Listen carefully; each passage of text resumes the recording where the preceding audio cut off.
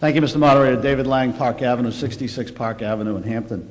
Um, I learned a long time ago the most powerful guy on the floor of town meeting is the moderator, and so I appreciate your authority, Mr. Moderator. Um, I I rise this morning, Mr. Moderator, to offer an amendment to Article 12. I would move that the bottom line of the operating budget be increased to $27,151,600, and if I get a second, I would speak on that motion. Is there a second to Mr. uh, Lang's amendment?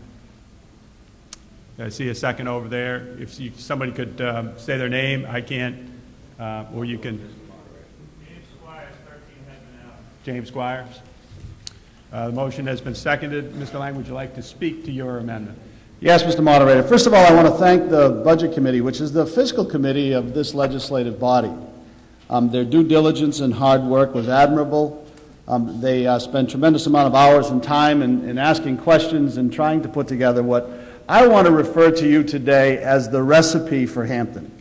And it's the financial recipe for Hampton. You know, if you're at home and you're going to bake a cake and you choose a bad recipe, you're going to end up with a bad cake. Well, I want to suggest to you that I think nine of the members that voted, because it was a nine to five vote on the bottom line of the budget, I happen to have a philosophical disagreement with them on. Um, they're good people, and they did the best that they can, and they made decisions that they felt were in the best interest of this town, and I applaud them for that.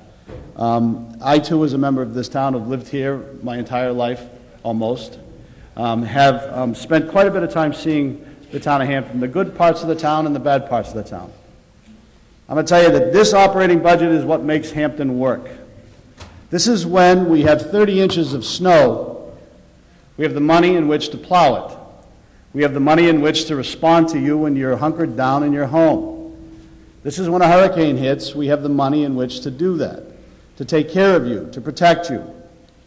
This is for your fire, your EMS, your police, to make sure that the paramedics who respond to your grandmother or your grandfather have the ability to do that. This is Hampton. Some of the other stuff, some of the other warrant articles are kind of like, do we have time to do this? Should we do this? Would we like to do this? This is what makes us work. This is when you flush your toilet. It goes away when you put those green and blue barrels on your sidewalk and you get up in the morning and they're empty. That's what happens. Now imagine for one minute what Hampton will look like if we do not continue to feed it and we do not continue to help it and we do not continue to make sure that we have the necessary resources. This represents a 2.5% increase over last the default budget. Now, we've had some philosophical disagreements, myself and the Budget Committee. One of those is this.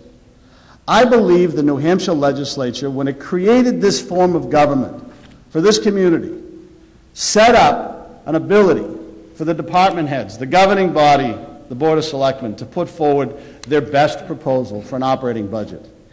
And in the event that the taxpayers, those of you that are paying the bills, decide, the voters, decide that you don't want that operating budget, well, you can't shut your town down. So the legislature built in something known as the default budget.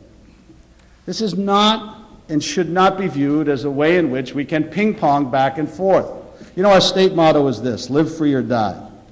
Financially, we should not have to make a choice to either live free or financially die. I'm asking you to support this moderate increase. It includes those items that the department heads have asked for in order to make Hampton work. You know, one of our members of our Board of Selectmen has adopted the motto, Hampton is my home. This budget is reflective to our home in Hampton, and I'm asking you to support the running and maintenance of your home. Mr. Lang, I want to make sure I've got your number correctly. 27, 1, 27,151,600.